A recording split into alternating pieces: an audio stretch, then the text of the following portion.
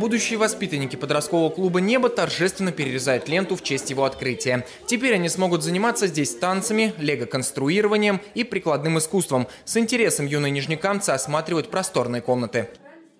Чем теперь здесь можно будет заниматься? Ну, легом, танцами, пением.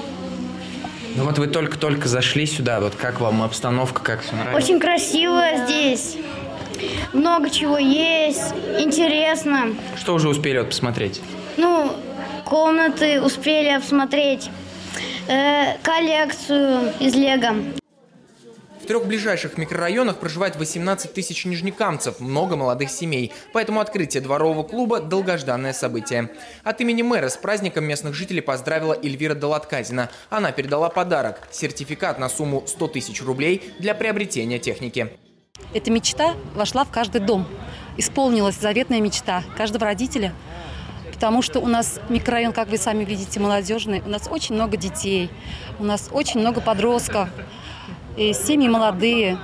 И вот э, то, что появился такой дворовой клуб, для нас это огромная радость. Здесь же начал функционировать общественный центр микрорайонов 34, 35 и 35А. Тут будут работать председатель СТОС, инспектор ПДН, также в здании есть депутатская приемная. Всего в нашем городе сейчас 8 общественных центров, и все они пользуются популярностью. Кроме того, в этом году планируют капитально отремонтировать три подростковых клуба.